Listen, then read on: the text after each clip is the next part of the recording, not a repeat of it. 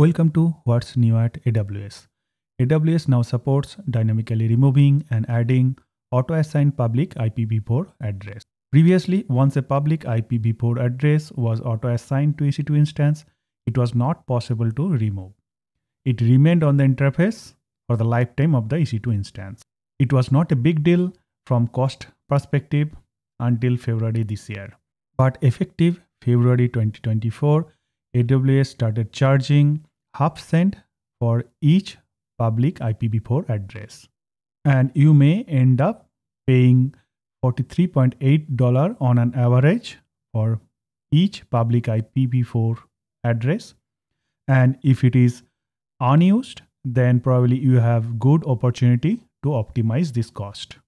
To get rid of these charges, you had only one option to recreate the whole application with EC2 instance without auto-assigned public IPv4 address. But thanks to this feature, now you can dynamically remove auto-assigned public IPv4 address without creating the whole application on new EC2 instance. This feature is available in all AWS commercial and government regions at no additional cost. Let's watch this feature in action. I am in EC2 dashboard now and this test EC2 instance has public IPv4 address which is auto assigned public IPv4 address. Now assume a scenario that I am not using this public IPv4 address for any region. So basically this is unused, but I am paying $43.8 each year for this unused IPv4 address.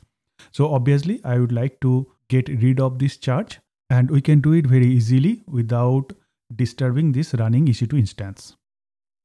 Click Actions, Networking, Manage IP addresses, expand primary network interface.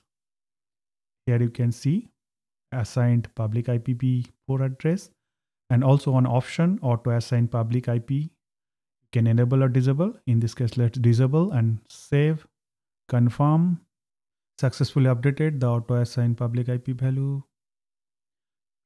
Select test EC2 instance and we can see there is no public IPv4 address.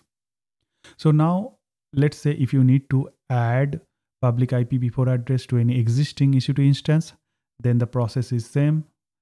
Go to actions, networking, manage IPv4 address, expand primary network interface, and enable auto assign public IP. Then save, confirm,